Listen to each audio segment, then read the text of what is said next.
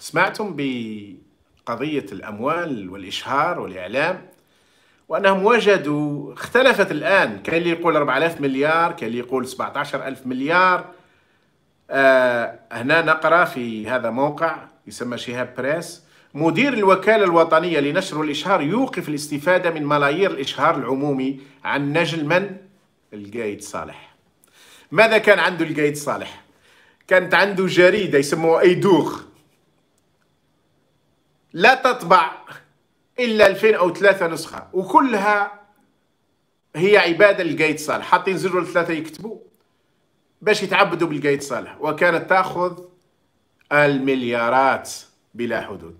لو عدتم إلى اللايفات السابقة كنت ذكرت هذا الموضوع قبل سنة أو سنة ونصف وقلت أنهم ينهبون بلا حدود. اليوم هم يعترفون بذلك. إذا عن نجل القايد صالح عادل اللي عنده إيدوغ هذه أوقفوا عنه الإشهار وقالوا أنها عشرات المليارات أعطيت له. لكن مش هما فقط مش فقط أولاد القايد صالح. أربعين شخصية أربعين شخصا يمتلكون جرائد بأسماء مستعارة من بينهم رابح ماجر. وقف الإشهار هذه من جرائدهم ها؟ يعني جرائد العصابة أعطاهم تعليمات. راي الجرائد هذه لا تنشر شيء إلا بتعليمات من عند الحنوشة. نتاع عبد الغني راشدي ونتاع الجماعة يعني. وبالحيمر اللي راه يخدم عندهم آه كلمة خماس تصبح أرفع. آه وقف الإشهار عن جريدة نجل الراحل قايد صالح لأن مالكها لا علاقة له بالصحافة. صح النوم. حينما قال لكم الأحرار هذا كنتم تكذبون. تقولون ها منين جات؟ ما عندوش. حتى خرجوا. قال لك راهو مسكين القايد صالح ما كانش عنده حتى فيلا وراهم عطاو له باعوا له بين قوسين فيلا فخمة. انت اللي كان ساكنها طرطاق طردوا طرطاق لما سجنوا القايد صالح وخذاها وحبوا الآن يعطوها لوفيسياليزاسيون ب 17 مليار. والفيلا أقل شيء تسوى ب 200 مليار. أقل شيء! حسب المطلعين على الأسعار في الجزائر.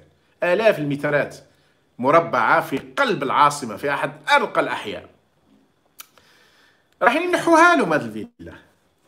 وراح ينحوا لهم الشركات وراح يتابعوهم وعلى الارجح يسجنوهم. لكنهم جايين تدرجا. هاي جايتهم تدرجا.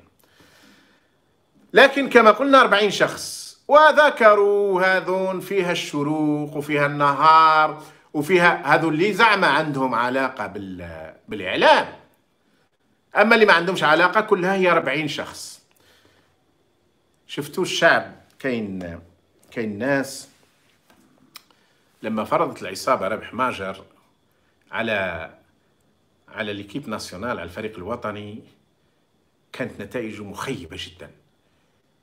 سعيد جابوه فرضه هو وأصحابه كلهم مع بعض يعني. لكن الشعب فرض عليهم أنهم يغيروه لأنهم خافوا من جماعة الإستاد. جماعة الإستاد ممكن يقلبوها عليهم. وجماعه الاستاد الملاعب الشباب فرضوا بالماضي وعينا بالماضي. فإذا بالماضي يصل إلى أنه يصبح بطل إفريقيا. هذا ماجر كان يقول باللي ما نقدروش حتى نتأهلوا للدور الثاني. وراهي موجودة أنا. أنا لا أتابع ال football لأنه أصبح opium أصبح drogue ولم يعد football للأسف. لكن مع ذلك عندما تتعلق القضايا بفريق الوطني هذا مهم. لأن فيه سياسة وفيه اقتصاد وفيه اجتماع وفيه أشياء كثيرة. يعني. عندما فرض الشعب الجزائري في الحالة هذه الشباب خاصة من يعتقدون أنه الكفء؟ هذا الكفء قاد الفريق إلى الانتصار. ولذلك قلنا أن الجيوش قيادة والمجتمعات قيادة والدول قيادة في الأصل.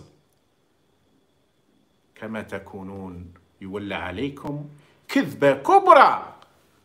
أخرجوها من سياقها. في الحقيقة الأقرب إلى المنطق هو الناس على دين ملوكهم أو حكامهم أو أمرائهم أو رؤسائهم. من يجرؤ على الفساد إذا صلح القائد؟ من يجرؤ؟ لا أحد. لأنه يعرف إذا كان القائد صالحا مش القائد صالح. إذا كان الرئيس الوزير ال maire الوالي commissaire الجنرال صالحا فإن ما تحته سيكون صالحا. ومن لا يكون صالحا يتلقى العذاب الأشد العقوبات الأشد.